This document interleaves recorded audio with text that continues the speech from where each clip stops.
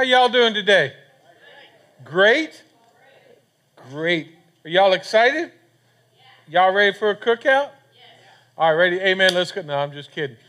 They'd like freak out if I sent everyone out right now. They'd be like, oh, we haven't finished cooking yet. But hey, we're, we're going to get to that after we dig into God's Word. And I just wanted to say, hey, I'm so glad you guys are here today. I hope you guys in, enjoy the time as we spend time together here um, digging into God's Word, but then as we take that time of, of food and, and some fellowship outside afterwards, I really hope you guys enjoy it. And hey, we're in the final week of divine disruptions. Now, now during this series, we've been looking at these disruptions in Jesus' ministry. Uh, back in week one, we looked at the, the centurion soldier um, who had come to Jesus, and Jesus was actually amazed by his faith. And when you think about that, Jesus, who knows and knows everything, was amazed by this centurion's faith, and he was his outsider. He, he wasn't a Jew. He wasn't, you know, he was basically considered an enemy of the Jews, and, and Jesus found his faith amazing. And then in week two, we kind of looked at the we looked at the story of the four friends lowering their their friend with leprosy through the roof and they had to tear off the clay or they had to tear off the roof. And in order to do that, even in our own lives, we need to tear off this clay or this roof of our sinful flesh because it prevents us from seeing and hearing Jesus, just like the roof in that story prevented them from seeing and hearing Jesus. And then last week we looked at this woman who was an outsider. She was a Canaanite woman. She was from a, uh, a group of people that was supposed to be wiped out by the Israelites. And, and here she came to Jesus. And, and at first it looked like Jesus ignored her. Um, but then we find out again he was testing her faith. And, and once her, he saw her faith, and her faith was again stronger than most people in Israel. And, and, you know, so we've been looking at these. And, and this week we're going to look at a little different uh, story and kind of dealing with our own life and things that we go through. You know, unfortunately, in, in this world today, and I say it unfortunately because, you know, we all run into the same problem. We, we live in this society that is instant. We, we can get things done right now. And we kind of do the same thing when it comes to Jesus when something's going wrong. You know, it's like, hey, I just got a bad doctor's report. Jesus, heal me. Why didn't you heal me? And we get this, into, you know, we want things done now. And that's one of the things we're going to be looking at today is how God's timing is different than our timing. His timing, he sees the big picture where we may only see what we want to see for our own future, you know, or the results that maybe we want because sometimes it's just easier if we do what we want and we get what we want. Correct? Is it easy when you get what you want? Come on. I know the ladies are looking at the husband saying, You better get me what I want. Otherwise, that's when the fight's going to start and we're going to be going seeing Pastor Ken. All right? But the reality is, it's not always like that. And, and sometimes it, it may get frustrating. And, and kind of the big idea today is that we need to understand that Jesus' delays, his delays in, in responding to a request happens so that he can show his power in an even more amazing way. Because ultimately, there are delays. Can he do it? And are there times you pray and bam, it's done? Yes. But how many times have we prayed and maybe we've been praying for years and we're still waiting? That, that delay doesn't mean that he doesn't love us. It doesn't mean that he doesn't like us. It, it, it's so his power can be in more of an amazing way. And, and along with that, hopefully we can learn to, to trust in God's timing and patiently wait for him. And that's where the whole problem comes in that patiently waiting because, you know, Hey, we live in a world where I can just, hey, Siri, I can get an answer. Hey, Google, I can go to Amazon and get it delivered the same day. Just saying. Why did I have to wait on Jesus? But with that being said, we're going to be in John chapter 11. uh, verses 1 through 16. If you got a Bible with you, encourage you open it up to John chapter 11. If you don't have one with you, there is one in the back of the pew, in the Bible in the back of the pew. You're going to find it on page 1236. But as always, it will be here on the screen also. And with that being said, John chapter 11, verses 1 through 16, can I ask everyone to all rise for this hearing of God's word? John 11, 1 through 16. Now a man was sick, Lazarus from Bethany, the village of Mary and her sister Martha. Mary was the one who anointed the Lord with perfume and wiped his feet with her hair, and it was her brother Lazarus who was sick.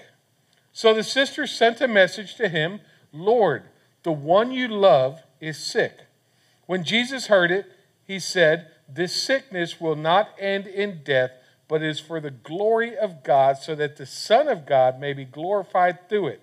Now, Jesus loved Martha, her sister, and Lazarus.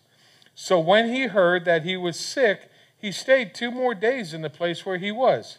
Then, after that, he said to the disciples, Let's go to Judea again.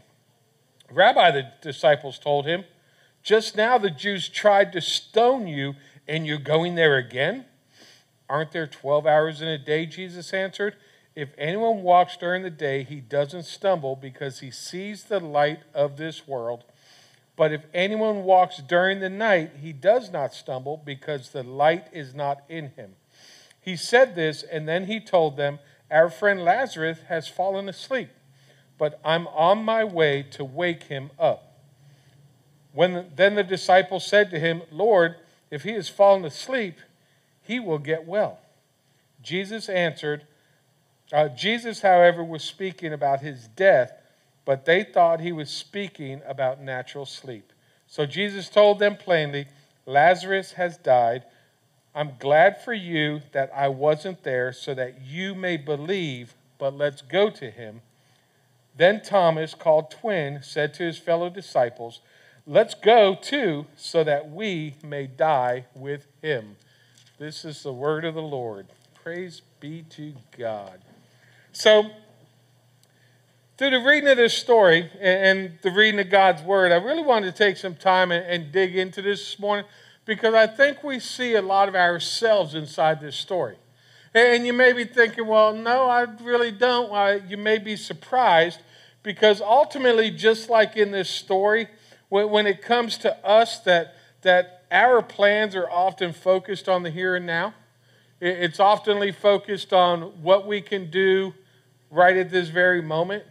And think about it when, when we go through this life, and how do you react when God's plan for you doesn't make sense? You know, think about it. How do you act when God's plan doesn't make sense? And I know for me, I'm kind of like I start questioning God, are you sure? You know, it's really, to, you know, to me, hey, I come from a logistics background. You know, if we do it this way, it'll be so much easier, more efficient, and let's just do this. And then God says, no, we're going to do this instead.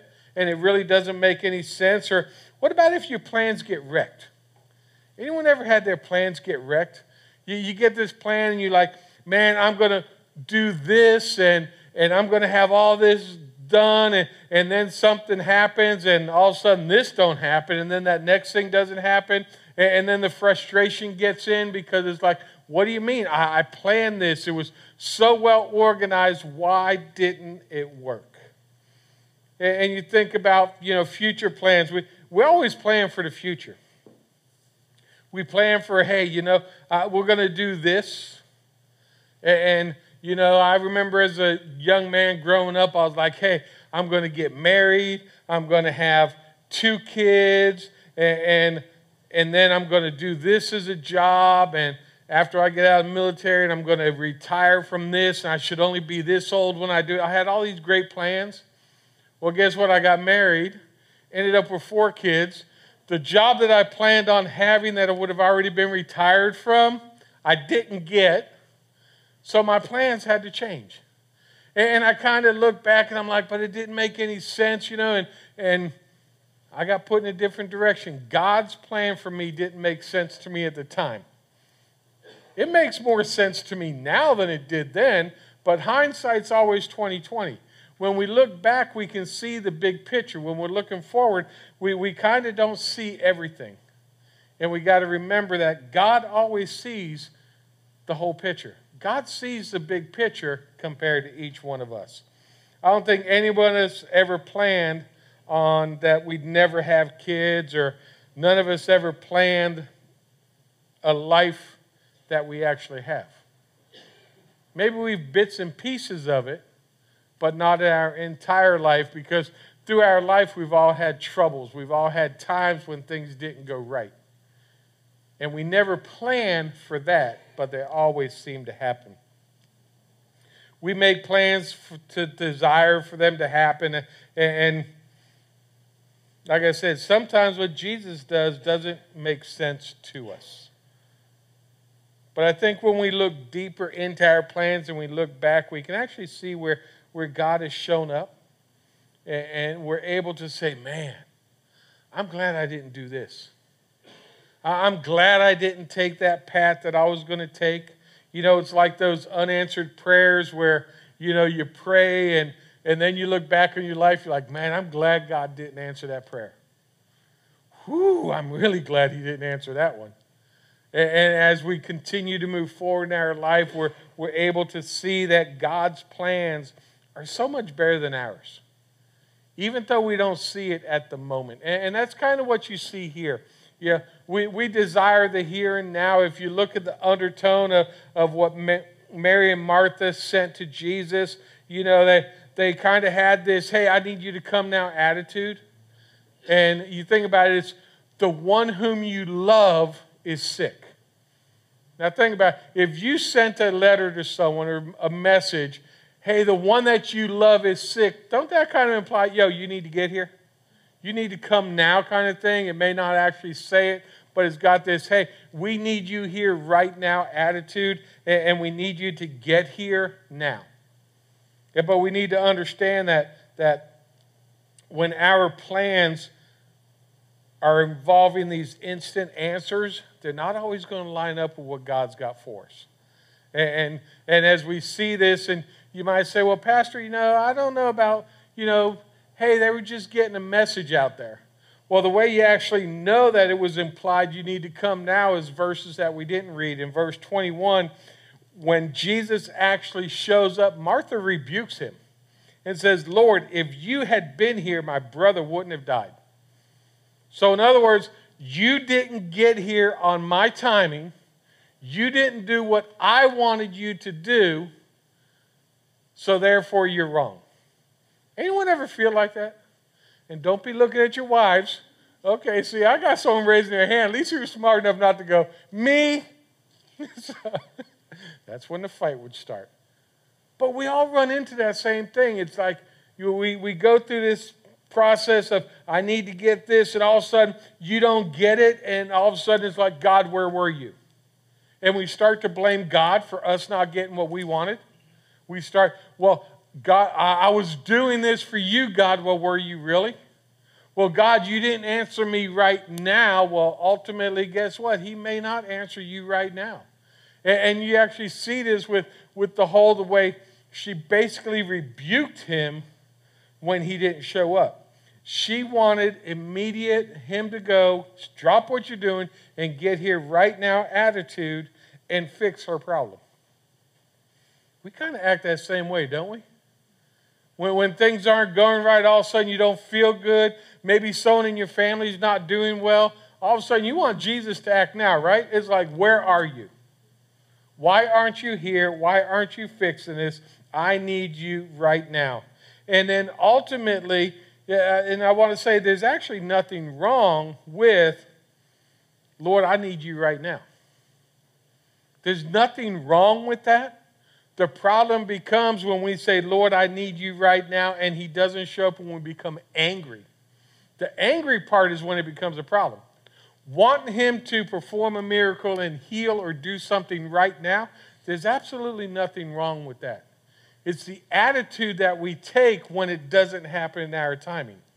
And that's exactly what you see here when she basically rebukes if you were here, my brother wouldn't have died. Well, we know Jesus has the power, even from the past couple weeks. He didn't even have to be there to heal Lazarus because he didn't have to be there to heal or the demon possessed girl. He didn't have to be there to heal the centurion servant. He doesn't have to be there to actually do the healing. He's capable of doing it wherever, but that, that attitude of where were you? Why weren't you doing what I wanted you to do? Because you see, what happens is all of a sudden we start acting like we're God and that He's us. And, and that He needs to listen to what we have to say instead of us listening to what He tells us that we should be doing. And unfortunately, you see this in this same story that we're a lot like them. You, know, you think about it. If, Lord, if you're not going to follow my plan to the T, then I don't want you to follow it at all. It, it make, it's crazy. Doesn't that sound crazy? But don't we do that? We do that same thing. We do the same thing that we see in here today, and no matter how crazy it sounds, it's, we still do the same thing. We want instant answers. We want God to stop what He's doing and answer and give us what we want. Makes zero sense. And it doesn't matter how long you've been walking with Jesus. We all fall into the same thing. We fall into that same trap of, you know, we want it now.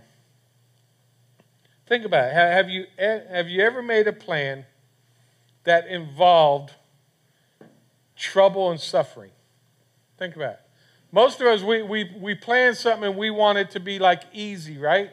We want it to be easy and comforting and relaxing and, and definitely no pain. But has anyone here ever made a plan to say, you know what? I want to struggle and I want this to be painful for my life? No one? You mean tell me none of you have ever said, Lord, give me cancer and, and let me deal with it for the rest of my life? No one's ever asked for that? What about, Lord, I want to wait till I'm 40 to get married and have kids. No? Sounds kind of crazy, don't it? Because we want that easy way out. We want the, the comfort and painlessness because we don't want any pain in our life. Did anyone in here ever sign up and say, you know what, I'm going to marry this woman or I'm going to marry this man and we're going to be married for a couple years and it's just going to go down the tube it ain't going to go good. Then we're going to have to get a divorce. Well, then, of course, we got a kid involved. So now we got, you know, both of us trying to parent. He's a Disney dad. I'm the mom trying to do everything right. And that's what I signed up for. Woohoo! Did anyone ever choose that life? No? But the reality is, we get that life, right? We, we get that life, and Disney dad gets to be Disney dad, and, and mom does all the work.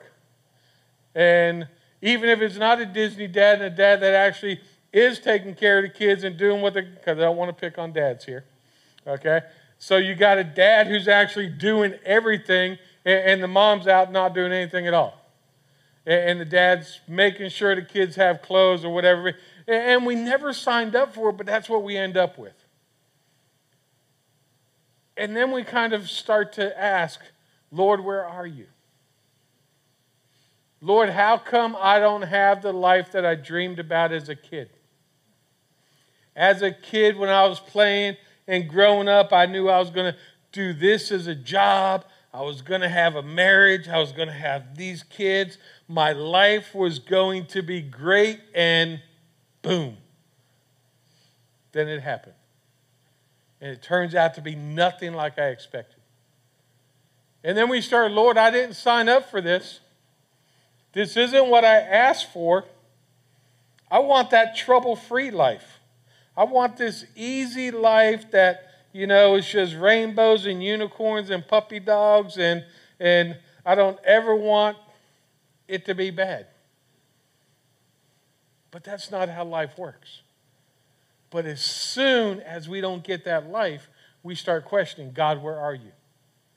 Well, even better, when God puts us on a path and it doesn't go smooth, we start asking, God, are you sure this is what you want me to do? you know, Lord, uh, this would be an easy way out. Can't we go through this door? And meanwhile, he's closed that door because you got to go through some struggling. Maybe you got to go through some hardship. But at the end of the line, you're going to be that much better of a person. Of course, while you're going through it, you don't think so and you're questioning God the whole time. I mean, e- even in this story, we see Mary and Martha questioning, questioning God, trying to get Jesus to come there they want him there now. And, even the disciples get into this game. I love the way the disciples get into it. You know, Jesus tells them, hey, we're going to go back to Judea. And meanwhile, they're like, what? Go back? You know, it's almost, do you know they were about to stone you and kill you there? And now you want to go back. So even the disciples are saying, yo, yo, Jesus, let's just stay away from there hey, you can heal them from a distance. Let's not go back. You know, there's hardship there. It means that we're going to have to like fight and argue with people, and it's not going to be easy for us to go back to Judea. And do you really, really want to go back? We do the same thing. All of a sudden, it's like you get, Lord tells you you got to go give someone forgiveness. What? You don't know what they did to me. You want me to go forgive them? Are you kidding me? Yeah. Go forgive them. No. And we put up this argument, we put up this fight back and forth with God because there is no way in the world that I can go do this, God. And, God, we can just move on. If we move on, we'll forget about it in time you know, and, and it'll be easy. We won't have to worry about it no more. And God's like, nope, sorry, we need to go back. And that's exactly what he's telling them here. We need to go back. And, and they don't even understand that under, where Jesus tell, talks to them about there's 12 hours of light that he's basically telling them, look, I'm going to be with you, so it's going to be all right. You will be walking with the light, and I will be there. It's going to be okay. And they totally miss it. They totally miss that the fact that Jesus is going to be with them, that they're going to be okay. They're more worried about what an outcome may be that doesn't fit their criteria of being easy, that, that means we can't do it.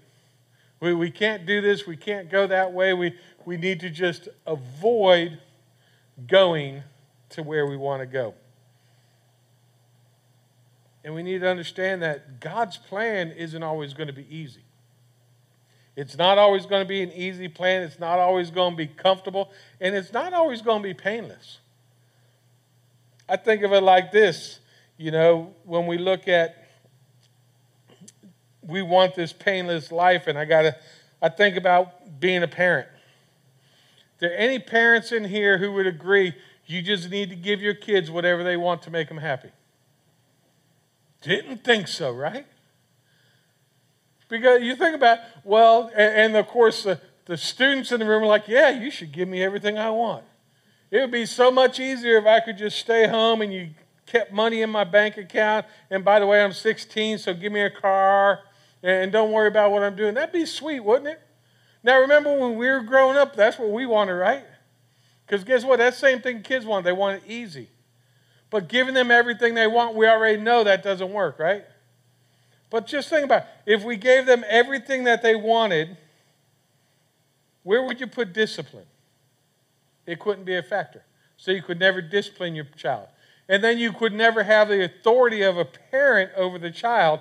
But then it's like you've got to have them in order for the kids or your children to know that you actually care. And they need to understand that, guess what? Life isn't always going to be easy. But then what do you hear from your kids at that time when all of a sudden it gets tough and you may discipline them or whatever? You don't love me, right? How many of you ever heard the kids, you don't love me? I've heard it from my kids. I chuckle every time I say it. Uh, I always laughed when I was a kid, you know, my parents said, it's going to hurt me more than it hurts you. And I'd be like, I don't think so. Then I became a parent and I found out actually what they meant because it, does, it did hurt me more than it hurt my kids. But the reality is, we, we've got to do that, and then it says, oh, well, you don't love me. And, and I think we kind of get that same attitude when it comes to, to us having troubles. when all of a sudden our plan's not working and, and maybe a loved one's sick, or maybe you're going through a divorce, or maybe you know, someone in your family passed away, whatever it may be, and, you're praying, God, heal this, and it doesn't happen, all of a sudden you start questioning, well, do you love me? Well, God, do you love me? Or do you even care about me? And we start to get that idea in our head that, well, it must be because, hey, God don't love me, or maybe he don't love the person who's going through it, or whatever it may be, and he doesn't care. And when I first read, I remember when I first read this growing up as a kid, and I got to thinking about, wait a minute. So they asked Jesus to come to heal their brother, and Jesus waits two days. And, and I got to think about it. I looked at the scripture right before, and I said, wait a minute. Right before this, it actually says that Jesus loved Martha, her sister, and Lazarus. And I'm like, this makes no sense. I'm like, if he loved them, why didn't he just get up and go? And you know, many times we may think the same thing. Well, that's kind of unloving. That, that doesn't make sense, but love doesn't always make sense. And, and love isn't always easy. And love isn't always what we may think it should be comfortable. Love is also what is best. What is best in any situation is what love is. But we get caught up on love is because we think love should be comfortable and make me happy. And, well, technically, love should make my wife happy, and she should be comfortable, and she should feel like I would do anything she wanted her to be done, that I would just do it because I love her. But the reality is, love is what is best. And sometimes what is best doesn't line up with what we may think it is. And that's exactly how Jesus loves us. He loves us for his best. He loves us for his glory and for us to glorify him. But we still get caught up on, I want peace and comfort. I want it to be easy. I, just want this easy life that I can go on with. And we actually see that you don't see it here. And we don't always see God's plan because God actually sees the big picture. I was reading a book. It was called "They Found the Secret," and, it's a it's actually a PDF book. And, and in this book, um, V. Raymond Edman actually tells all these stories uh, of different people, uh, different religious um, people, or just even normal people that that they got this secret and they they got this secret basically kind of like to life and a relationship with God that that was totally different. And, and there's one he's actually talking about Samuel Brengle. And he was a Salvation Army worker in Boston. And he was walking past a, a pub. And there was a drunk inside that actually threw a brick and hit him. And, and the drunk was actually a pretty good shot because he hit him in the head. And Brengle actually almost died from getting hit with this brick. Well, and he spent 18 months in recovery. And, and while he was in recovery, he actually wrote a little book. It's just a little, and it is literally a little book. Um, and it's called Helps to Holiness. And, and this book that he wrote actually had thousands of copies published and was sent out to people. And the whole time he's going through recovery, you know, the book's being sold and people are reading it. And, and when he finally gets out and gets back to preaching again, a lot of people came up to him and said, Hey, that little book, that little book that you wrote while you were going through recovery has helped me so much. And I love his response. He would always respond by saying this If there had been no little brick, there, had, uh, there wouldn't have been a little book. And, and seeing the whole side that here this guy who was drunk picked up a brick threw it at him and hit him in the head, if that wouldn't have happened, the book that changed people's lives would have never been written. And, and seeing the, instead of seeing the woes me, I got beat, I got, you know, spent 18 months in recovery, I almost died. He took that time of solace, of relaxing, just going through, recovering, and did something to change other people's lives. And instead of being upset, he actually realizes if it wasn't for that brick, there wouldn't have been a book. In some of our cases, some of us are still complaining about the brick. We've been hit by a brick in our life, and that's what we're still complaining about. Instead of moving forward and realizing that God had a bigger plan with that, whatever that brick is that hit you in your head, whatever it is, God's got a bigger plan than just that. But we get so caught up on the negative. We get so caught up on, I can't believe someone did this or whatever it may be, that we can't get past and see the glory of God through it all. And that's exactly what you see in this story.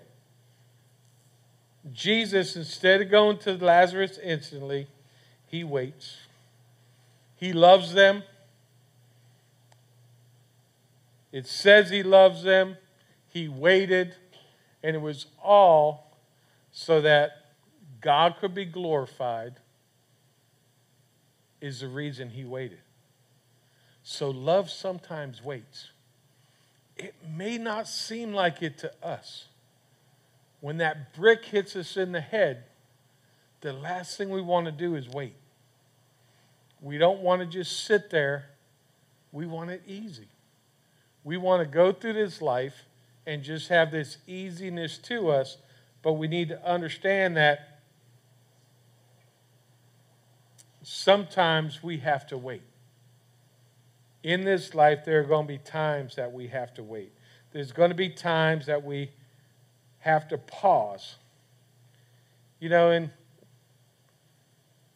I know back when my mom was sick, before my mom passed away, having that same question Lord, why won't you heal her?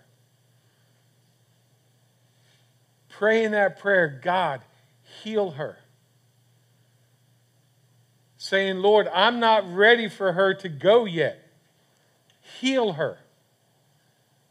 Lord, I'm going to miss her, heal her. And when I finally got to the point where I could sit there and at the foot of her bed in the hospital, pray, Lord, I ask that you heal her today, whether it's here on earth or you take her home. I want my mom healed today. About eight, after, eight hours after that prayer, he took her home. Part of me was Really, Lord? That's the part of the prayer you heard? What about healing her here? But at the same time, knowing that, hey, she was healed. She was healed. She was seeing Jesus face to face. And as much as that hurt, and as much as I was missing, and as much as I questioned at that time, and even afterwards, saying to myself, I never should have prayed that prayer, it was the right thing to do because Jesus' ways are better than ours. God sees the whole picture, we see a little piece. And if He would have healed her here on earth, I would have still had to gone through the same pain at some point later. And it may have been worse. I don't know. He saw the big picture that I didn't see. I can look back now and truly say that I am glad that, and I'm okay with the fact that He took her that day. Because guess what? He healed her that day. He answered my prayer. Maybe not the way I wanted it answered, but man, there's a whole lot of prayers that I prayed that I can look back and I'm glad He didn't answer them the way I did. I remember prayers back when I was like in high school. Lord, if you would just let her go out with me, man, I am so glad. I see her on Facebook now. I'm like, man, I'm glad that didn't work out. See, some of y'all know what I'm talking about. But the reality is, at that moment, we're, we're caught in that moment.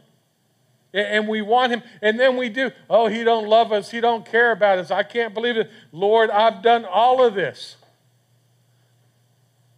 His plans are bigger than ours. He sees the picture that we don't see. And I always thank him for my unanswered prayers.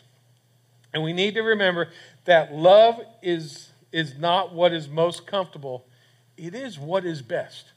What is best for us is what love really is. We just miss it because we want to be comfortable. We want it to be easy, but life is never going to be easy.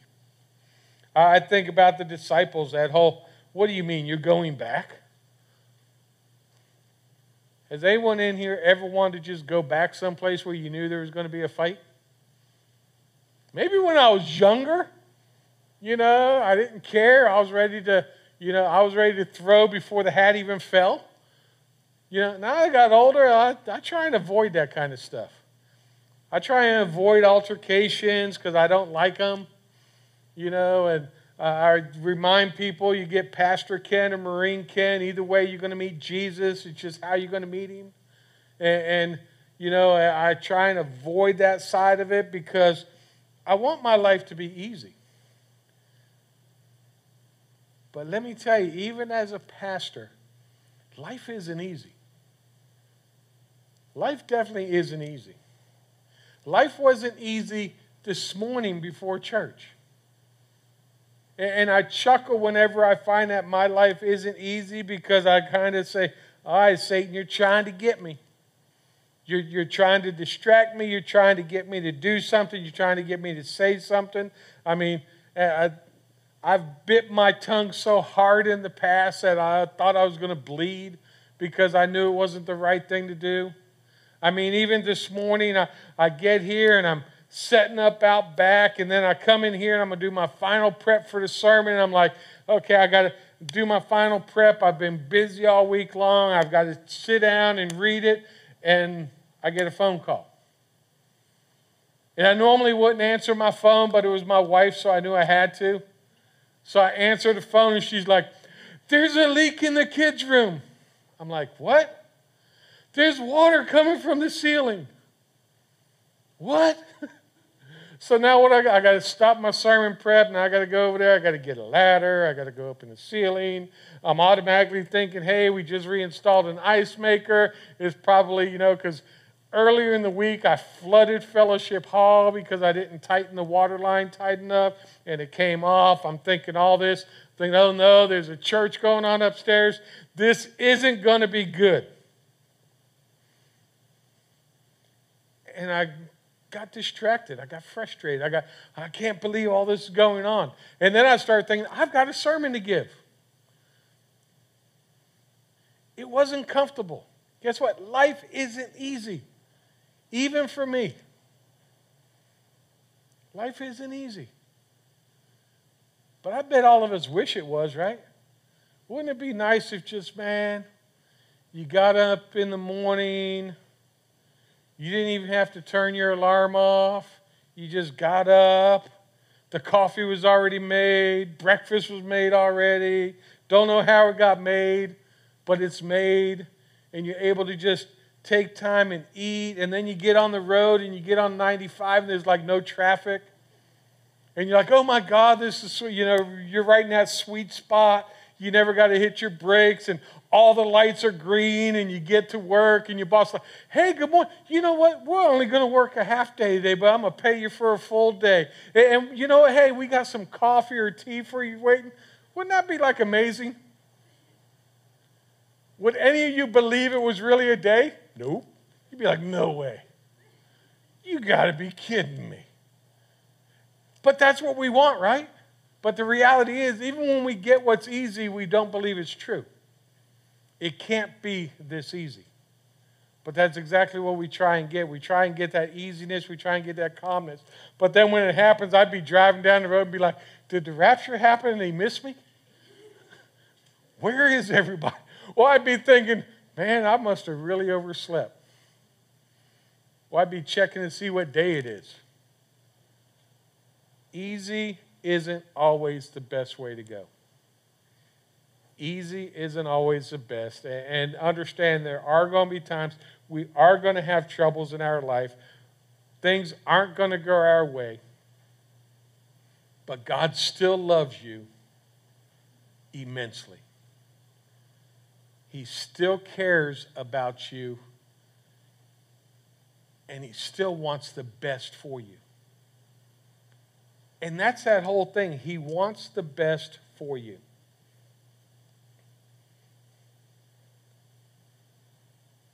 We all say we want the best for our kids. We want the best for everyone in our life. But sometimes the best is messy. Sometimes getting to the best is hard. Sometimes it's not always doing what we may want to get to what is best for us. Jesus actually told the disciples in verse 15, I'm glad for you that I wasn't there so that you may believe. It's a shocking statement. He's pretty much saying, I rejoice that Lazarus died because you get to see what happens next. It's, I'm like, wait a minute, that doesn't make any sense. But you think about this by Lazarus dying and the disciples going with Jesus and realizing that Lazarus isn't just in a deep sleep and needs to be woken up, but that Jesus is actually going to raise him from the dead. The belief that those disciples had to have after that. Man, he just rose him from the dead. Man, he's been in the grave for four days. Think about that four days. Probably needed a shower. He'd been in there for four days, knowing he's dead, knowing he's gone, and Jesus brings the disciples there, and the whole reason was why? So God could be glorified. It wasn't about Mary and Martha being happy. It wasn't about the disciples. For the disciples, it was that they would have more faith in Jesus. For Mary and Martha, it was they would see the power of Jesus. And I think about this everyone there got to see Jesus in a different way. Here, Mary anointed his feet and wiped, her, wiped Jesus' feet with her hair. They've seen miracles, they've seen these different things. But at this level, when it was a loved one, someone that they knew Jesus loved, and, and this is a, in this scripture is the part with the shortest uh, piece of scripture in the Bible. Jesus wept.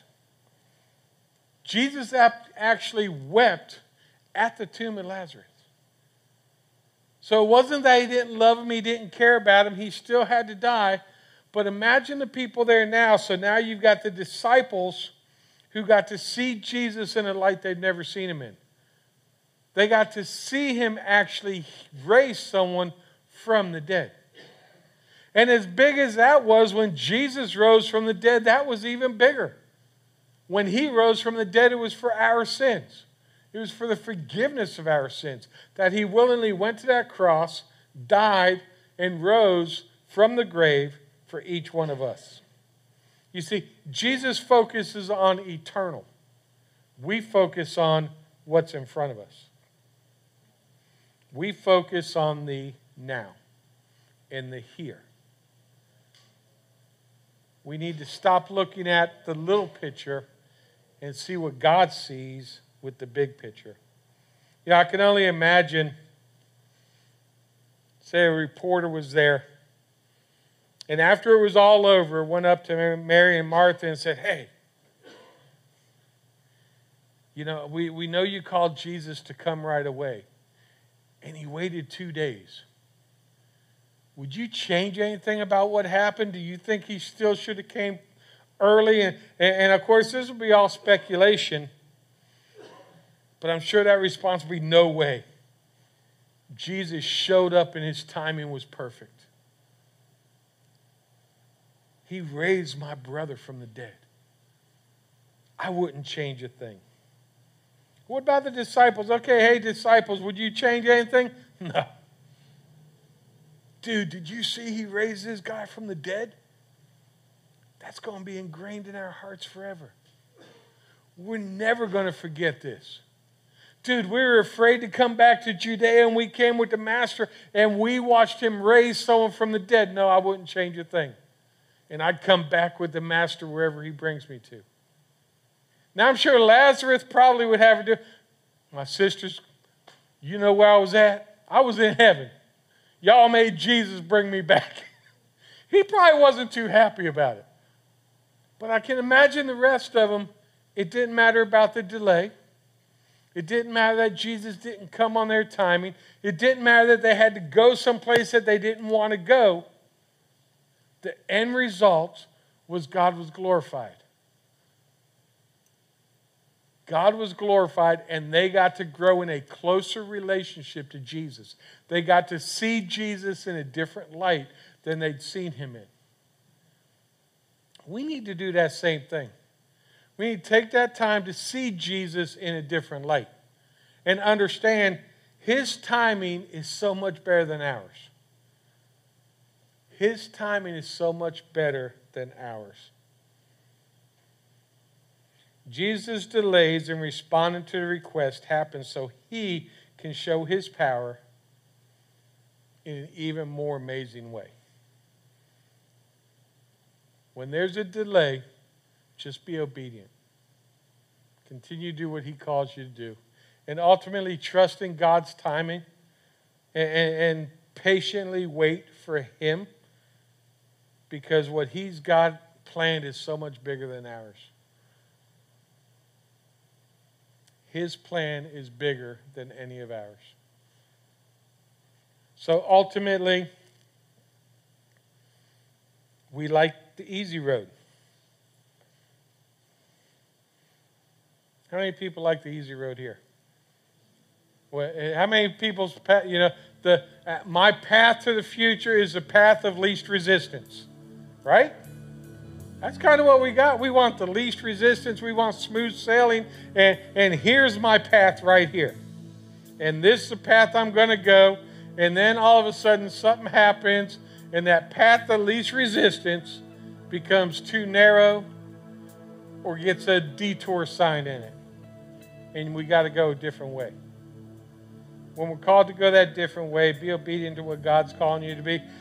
And, and as much as I say don't question Him, guess what? I still do. I'm a pastor and I still, Lord, are you sure? When it gets hard, I ask, Lord, are you sure you wanted me to do this? And he always reminds me, yes, I got you where I want you. Keep moving. So even through the struggles, I continue to move forward because his ways are better than mine. And I want to let you know if you're sitting here today and you may be saying, hey, Pastor, that's all great, but this whole Jesus thing and this whole, you know, God, and I, I don't understand it, and I've, I've never really accepted Jesus as my Lord and Savior, and, and, and quite honest, Pastor, I'm messed up man, my life is so jacked up, and there's no way in the world that God would ever accept me, anyways. And I just came here because you're having a cookout. hey, you offer food, people come. I, anyways.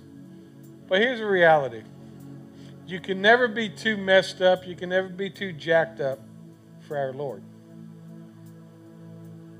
God's word says we're all sinners and we all fall short. So, guess what? You're in good company. The person sitting next to you is a sinner just like you. Just like you. We're all sinners. We all fall short of the glory of God. But yet, God showed his love for us that yet while we were still sinners, Christ died for us. Now, think about it. Christ died over 2,000 years ago. So he knew you were coming. He knew you were going to be a sinner, and yet he still willfully went to the cross for you because he loved you that much. And his word says that if you confess with your mouth that Jesus is Lord and you believe in your heart that God raised him from the dead, you will be saved. So that's the beginning of it. The beginning of that whole, hey, accepting Jesus as your personal Lord and Savior it's taking that step, knowing, hey, I'm a sinner. I fall short. I lived a messed up, jacked up life, but man, I got a God who loves me. I got a God who loves me. and his ways are better than mine. So it starts with that, taking that step of obedience. Making Jesus the Lord of your life. Not just saying, I invite the Lord into my heart. Make him the Lord of your life. If he is the Lord of your life, then he is your master. He controls what you do. We don't control what he does. So you make him the Lord of your life. And then after that, you take that next step of baptism, of that obedience of, of baptism through immersion. Baptism does not save you, it's an outward sign of that inward profession of faith.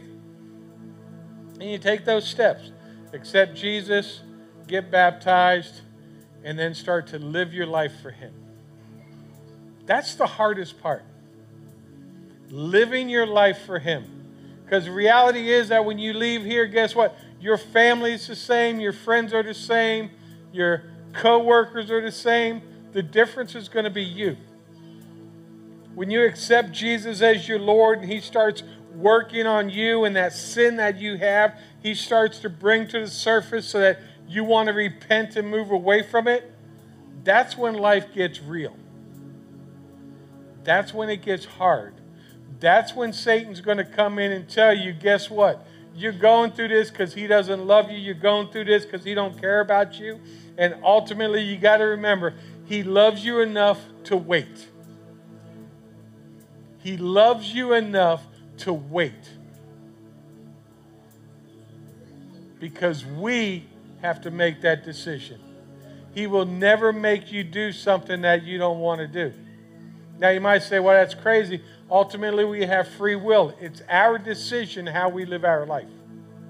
It's our decision if we make Him the Lord of our life. It's our decision if we walk away. It's our decision each and every day what we do.